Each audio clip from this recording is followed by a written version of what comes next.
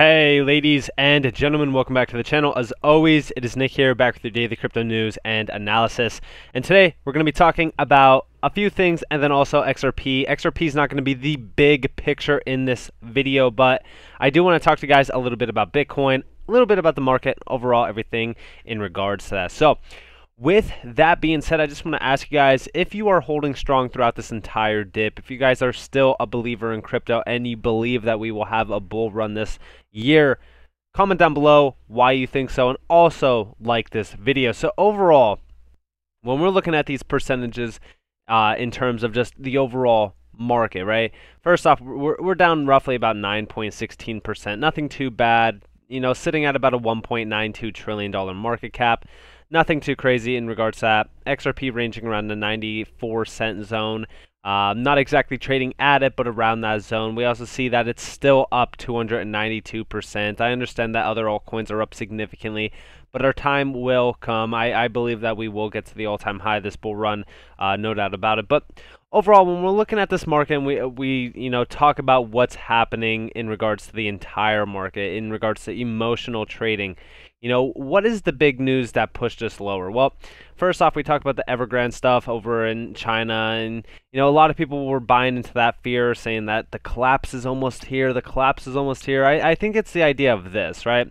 So, overall, when we're talking about the global economy could feel the effects of China's Evergrande crisis, I, I think a lot of people are kind of buying into this fear. And, and don't get me wrong, I think that this is uh, a little bit bearish in regards to, you know, just the markets overall. But I think that this is also bullish in a sense, uh, considering the fact that this is also the idea that we could preserve these markets. We could help these markets thrive if they would accept, you know, crypto overall. Because this is, you know, major banking systems that are having these crises uh, I think that I love the words that they're they're using here, sending ripples across the global economy. But overall, no. Like when we're talking about this stuff, right?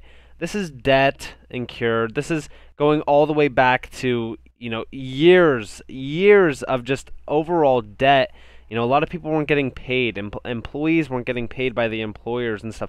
This was pretty rough. I know that they're saying that this could be the next financial crisis, but it could lead to more volatility. I think overall, this is nothing to really worry about in regards to the market. I think that the market, for what it's worth, is just experiencing a little bit of a sell off. I, I told you guys this morning uh, on my earlier video that, yeah, sure, we could see some more volatile price action, but we are at a 13% pullback, okay? Technically speaking, yes, we could test the 100 day MA down at about 40.7K. We could even get to about 41K exact, or even dip down to as low as 37k and retest this bottom uh, that we did pull back to over here. But I don't think that we do. I, I, I honestly think that we're either at our bottom or near our local bottom entirely, right? And when we're talking about this, we're talking about even going back to the previous pullbacks that we've seen at around 12%, 13%. We've even seen at some points in time and I even have them laid out on the chart here. You know, we've seen 31% pullbacks, 26% pullbacks, 20% pullbacks, all the way to the ride to the top of 65K. So, realistically speaking, these pullbacks that we're seeing are nothing to really kind of worry about. Don't get me wrong, I understand. There's a lot of FUD going throughout the market. We're talking about China's Evergrande crisis. We're talking about financial crises. We're talking about a stock market crash, the S&P 500, Dow Jones, the Nasdaq, they were all bearish today. I get it. All right? There's a lot of things that look bearish for us. But overall, we already know from past market cycles. If you were here during the 2017 2018 bull run, uh, I wasn't here during the 2013 2014, just to give you guys that clarification. But if you were here during 2017 2018, you know that there was so much FUD, especially coming from China. There's a lot of Chinese China FUD, right?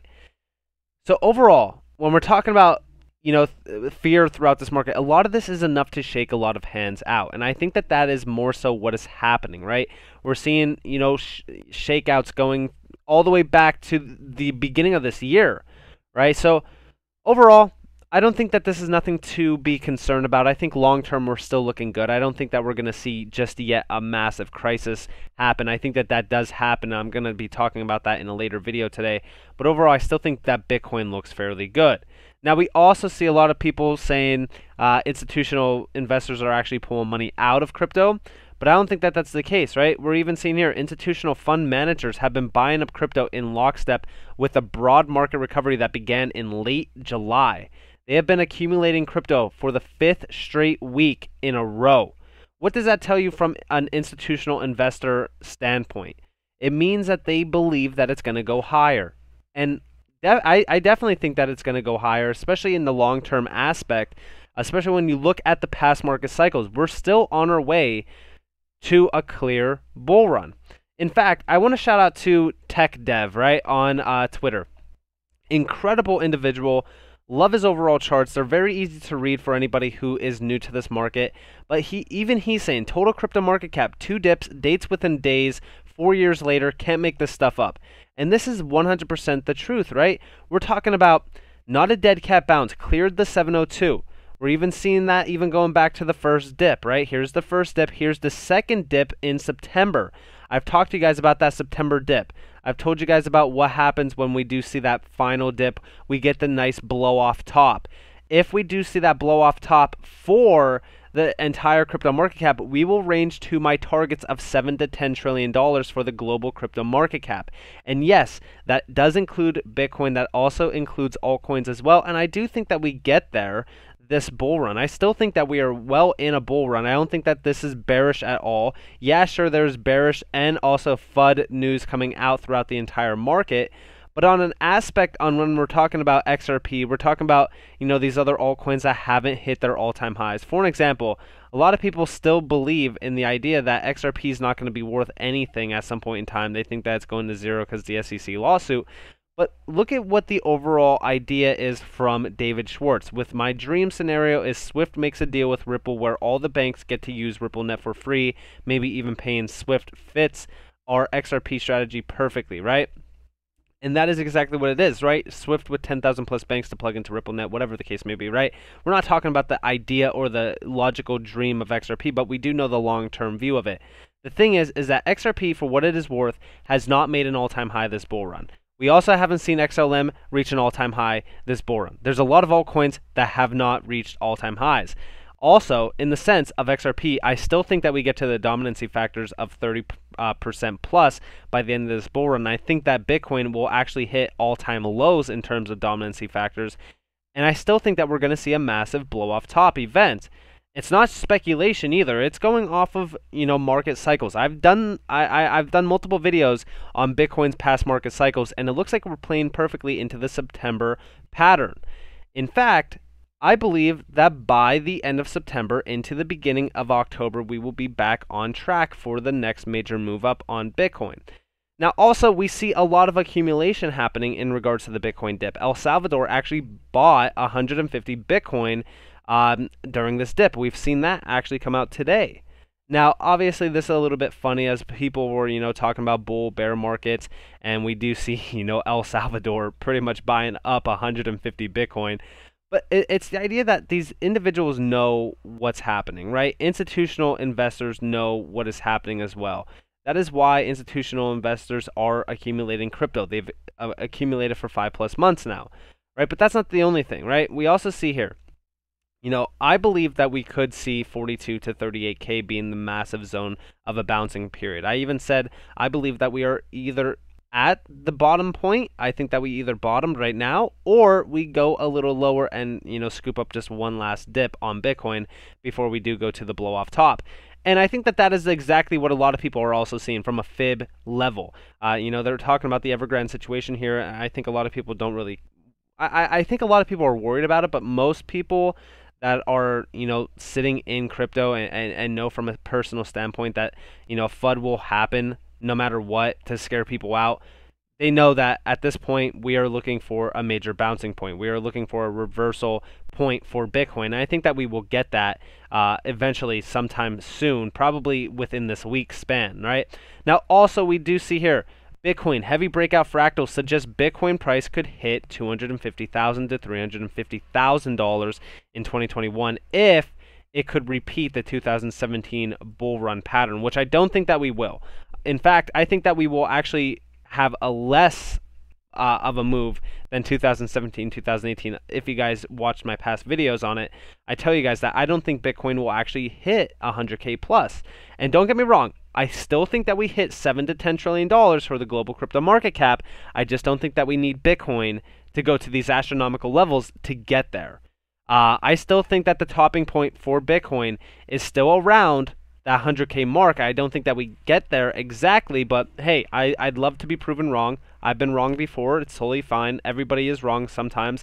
So that would be totally fine with me, but I'm not waiting for 100k Bitcoin to sell any of my altcoins. But this would be absolutely madness if it did hit those high numbers. Now, in regards to uh, Bitcoin entirely, I still think that we are going to range a little bit higher here, but I, I still think for what it's worth, the 42.5k zone uh, was a nice bottoming point for Bitcoin.